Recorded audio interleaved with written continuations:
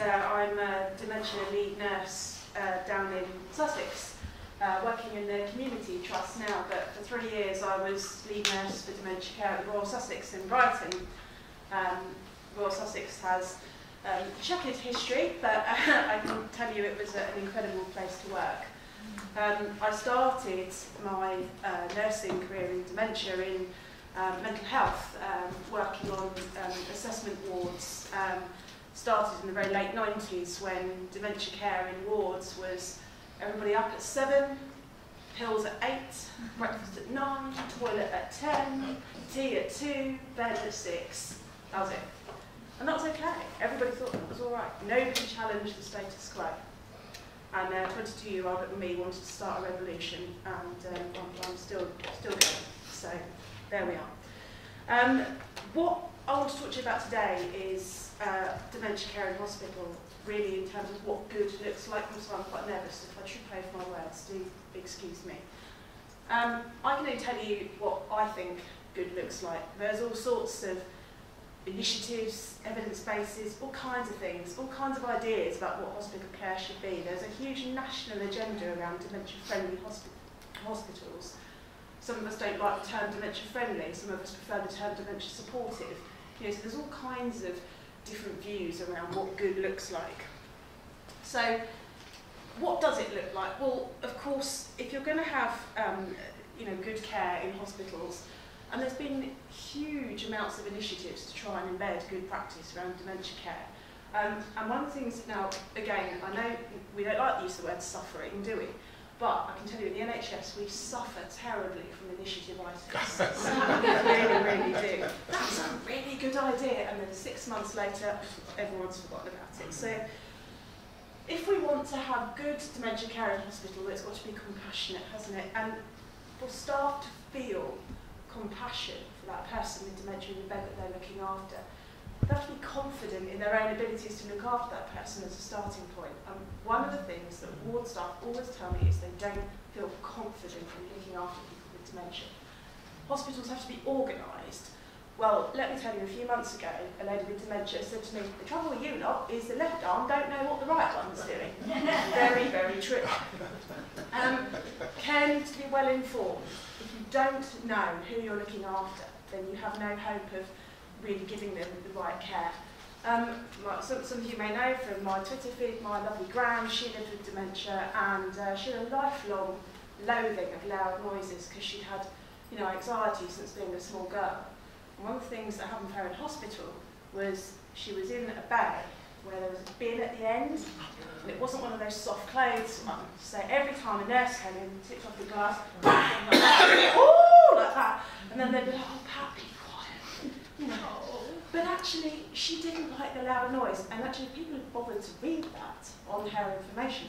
And one afternoon, I had enough of this, so I picked up the bin and moved it. You would not believe the trouble I got in moving the bin, honestly.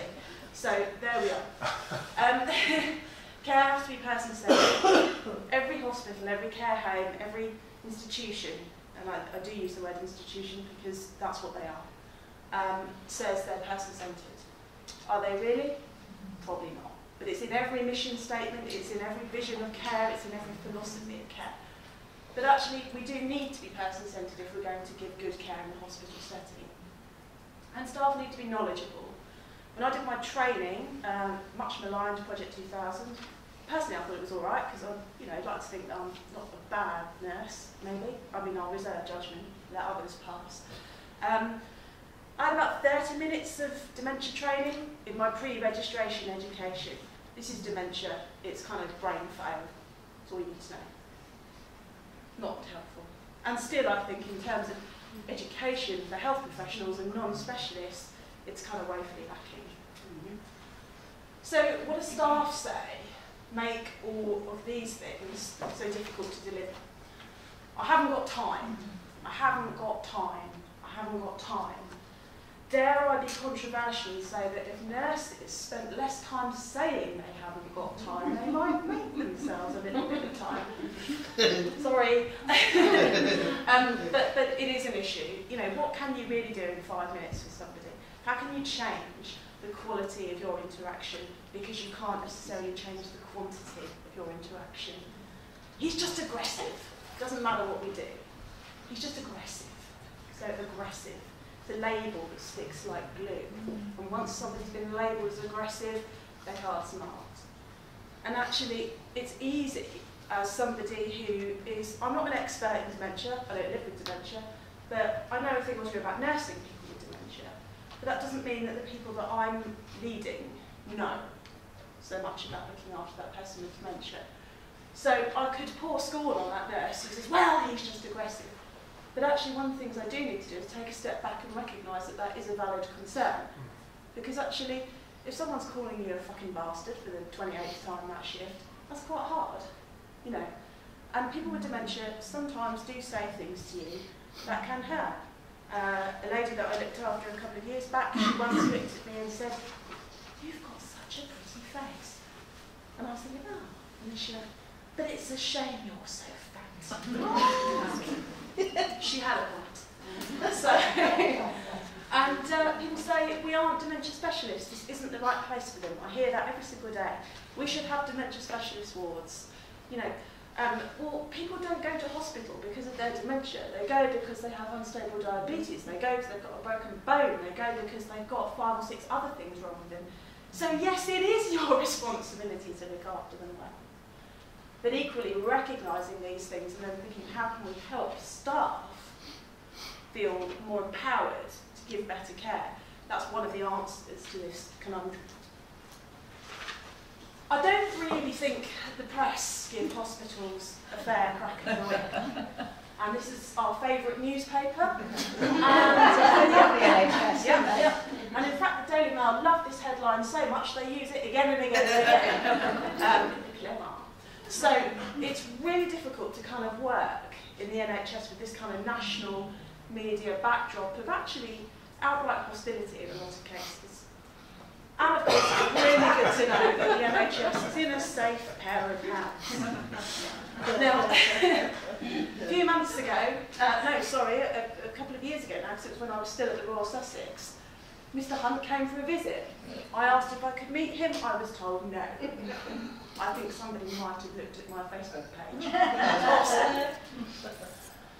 there are a few things that do help though. Now, leadership, that's so, so important in a hospital setting. And, you know, having been in a lead nurse role for a few years now, I really see the importance of this. But you can't do it all on your own.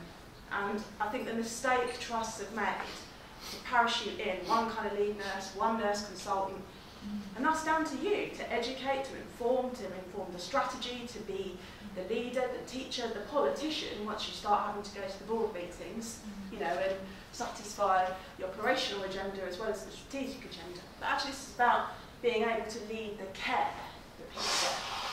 And sometimes your focus is diverted away from that when your remit is so big.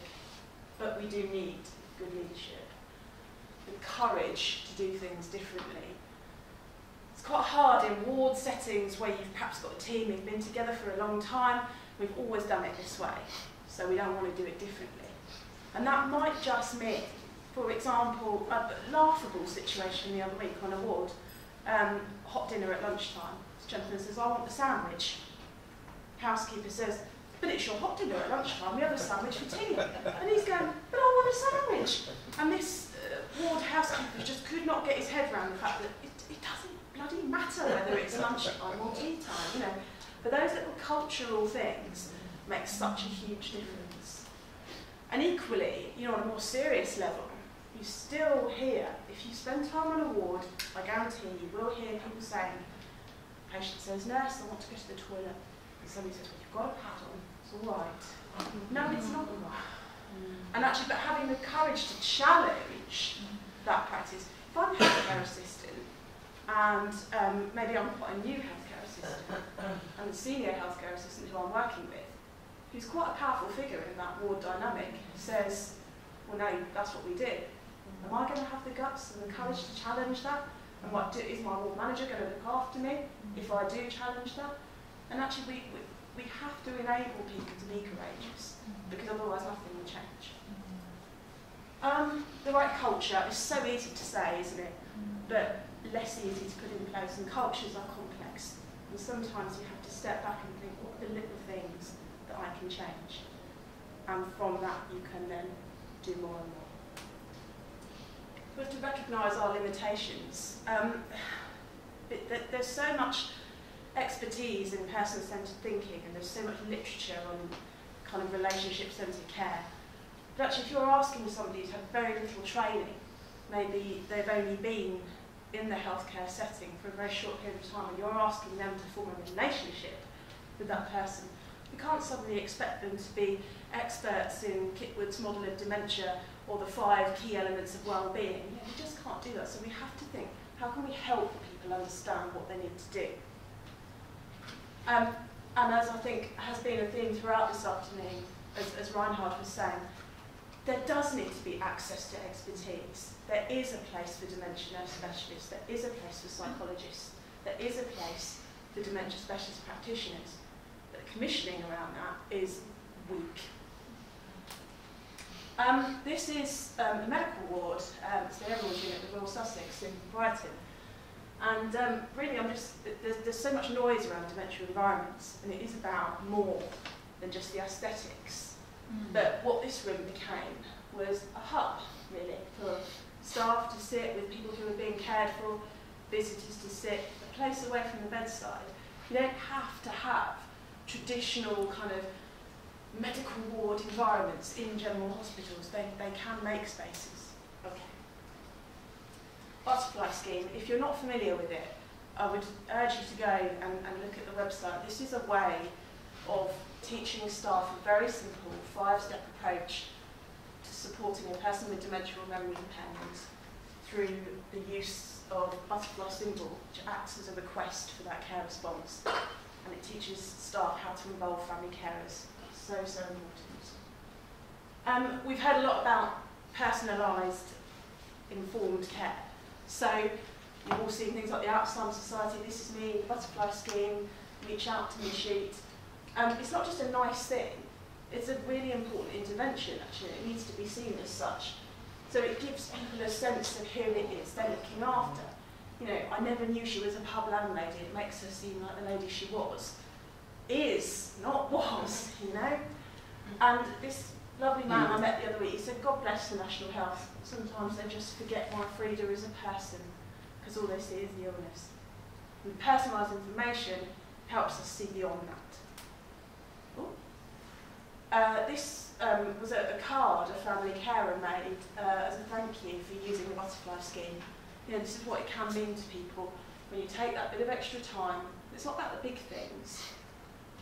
Um, music. Uh, some of you know I've got a bit of a thing about music. I know it can do really good stuff for people with dementia. It's not for everybody.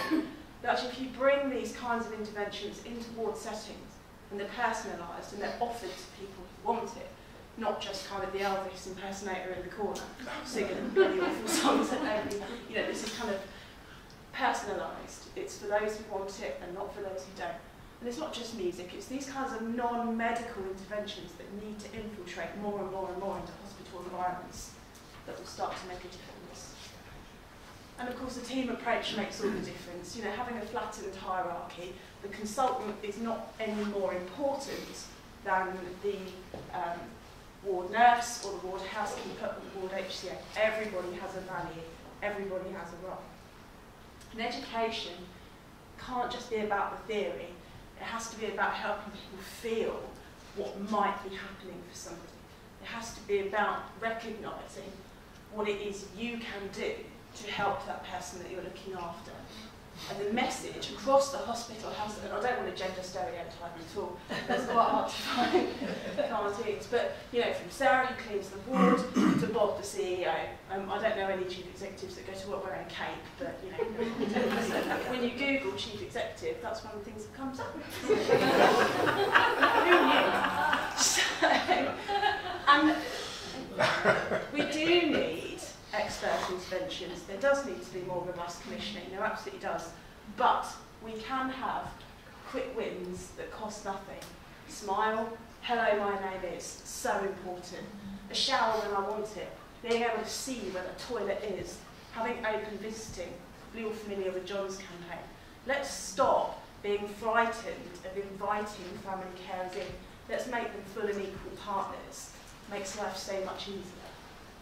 And actually, sometimes, you know, I used to get bleeped quite a lot when I was at Brighton. Oh, you know, somebody's kicking off, they're doing this, they're doing that, and Fred's throwing his um, dinner out the window again.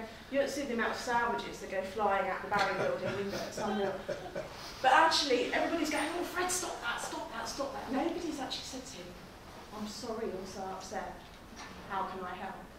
And that's often a really important way in. And a bin that shuts quietly really would be helpful. Um, this is just an example of some of the things, some of, one of the ways in which I teach ward staff. Yep, okay.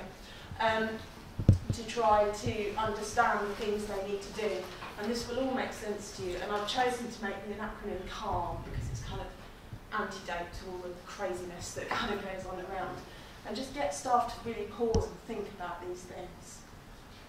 And I'll just leave you with this quote from a, a lady with dementia who um, I came into contact with once, and um, there was all this noise around the risk that she'd get at home. She didn't want people to make a fuss about risk. She just wanted to get on with the business of living. And that is what hospitals need to help people do. Thank you.